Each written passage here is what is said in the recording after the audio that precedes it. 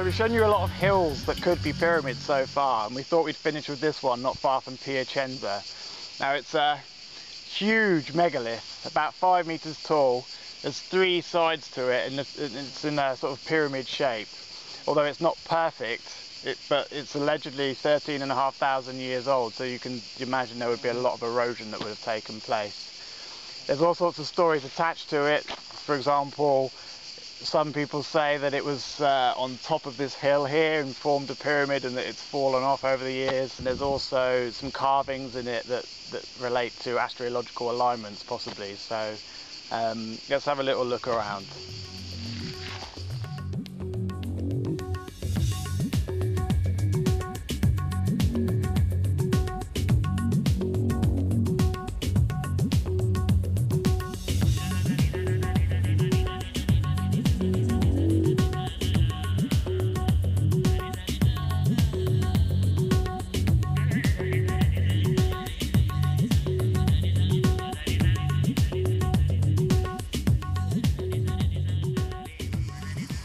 Here it just looks like a rock. a pointy rock. It does, but it's had quite a lot of scientific interest in, so we'll have to have a look at that. But I do see where the skeptics come from.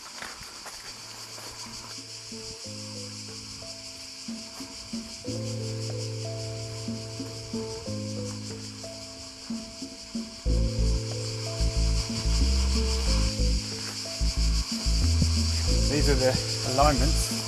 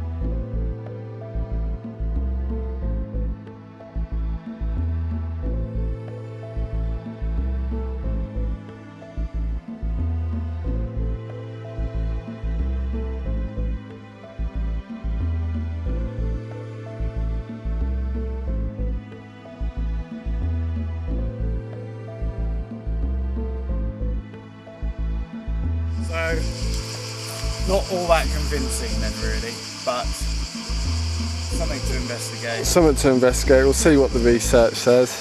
Yeah. Um, but the stories are interesting. That it fell off the mountain top or the hilltop there, or maybe that one there.